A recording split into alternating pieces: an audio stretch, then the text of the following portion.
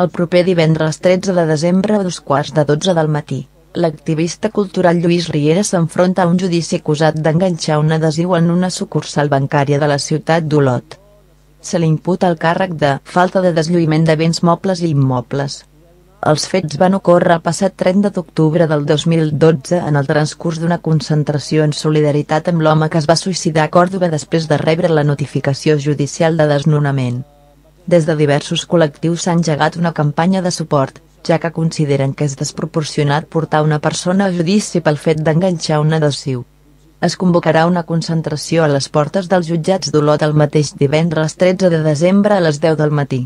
I hi haurà xocolata per tothom feta pel mateix encausat.